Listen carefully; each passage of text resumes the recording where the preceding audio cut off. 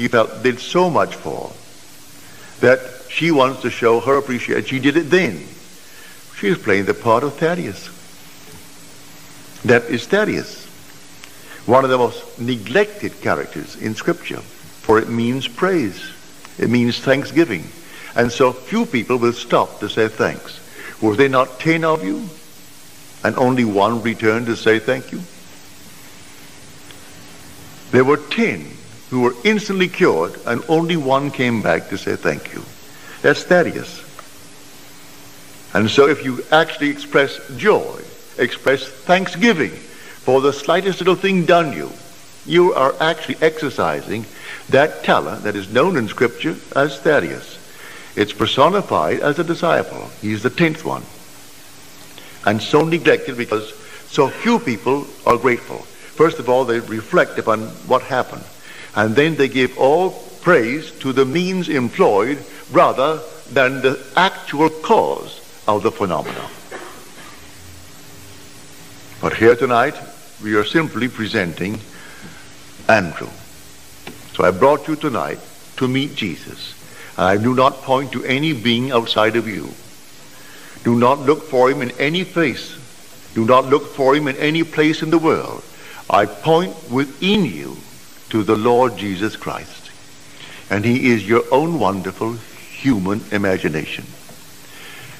Man is God and exists in us and we in him. The eternal body of man is the imagination, and that is God himself. Now, before we go into the silence, let me once more try to explain this simple, simple technique.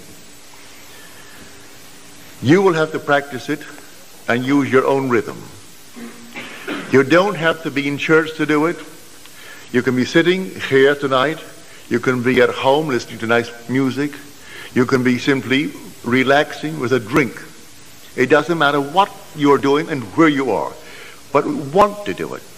Get into a lovely, quiet, relaxed frame. No so-called holy attitude. Forget that. You're holy when you're in love. God is love. So you would love it for someone else. That is all that you need. That mood wouldn't it be wonderful if she actually had it? If he had it? If they had it? Also, you know exactly what you want now. And then you imagine you are seeing them.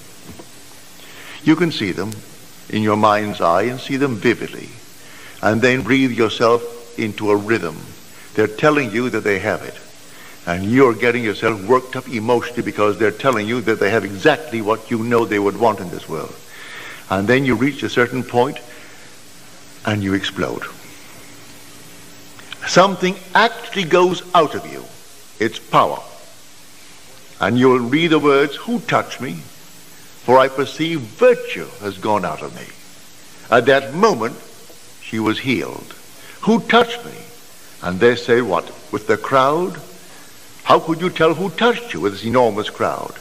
You know. You did it yourself. You work yourself up into a certain emotional state and then suddenly you explode and you feel everything go out and you cannot repeat it. There's no desire to repeat it. It was an actual psychic, sexual act, but there's no physical act.